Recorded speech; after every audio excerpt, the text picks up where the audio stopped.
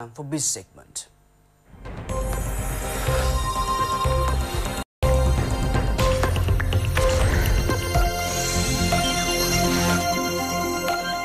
The second international conference on the social entrepreneurship and social finance commenced in Colombo today. Governor of the Central Bank, Dr. Indrajit Coomaraswamy, was the chief guest. The main objective of the international conference is to build discourse on social entrepreneurship and create a conducive environment for social enterprises. Arrangements have been made to continue with this conference tomorrow under the theme Social Entrepreneurship is the New Economic Mechanism for Social Development.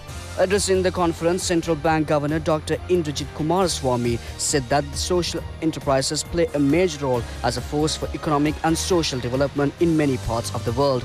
The central bank governor said social enterprises are implemented in many ways. This can contribute to the development of the society and the women and the youth of the country. This contributes positively to the economic development of our country as well as to the social and environment. Social enterprises are playing a vital role in sustainable development in Sri Lanka.